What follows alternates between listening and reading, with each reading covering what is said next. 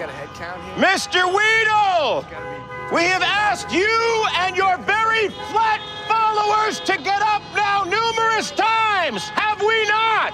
Keep going, Susie. Get this. Five separate warnings, all of which you have ignored. Is that correct, sir? Time. What's the time? Nine minutes, 12 seconds. Get that film crew filming us. Hey. That'll be extra cool. Coop, these idiots ain't even protesting anything.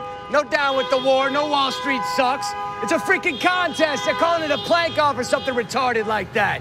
I guess there's groups like this all over town that lay down in front of traffic for as long as possible so they can post it on YouTube. Yeah, we got that. Well, what are we standing here for then? Just a minute, it. Dewey. Just want to make sure no one I say we soften them up with our sticks a little bit. When they're good and mushy, we yank them up by their privates. Dewey, shut they up. don't get their planks off. Dewey! You see, Davis ain't got shit on me, baby. Dewey! What? Shut up. They're over there, John. They can't hear a freaking thing I'm saying. All right, final warning, folks. We count down from five, and then we get you up with or without your cooperation. What do we need for the record? Five. Two minutes, 37. Four! Three. Three! Two. Two!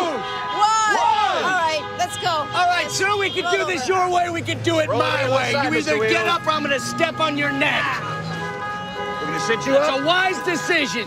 Wise decision, my friend. Living in the streets, okay. But lying in the streets? Because you got nothing else better to do? And come on, this little misdemeanor goof.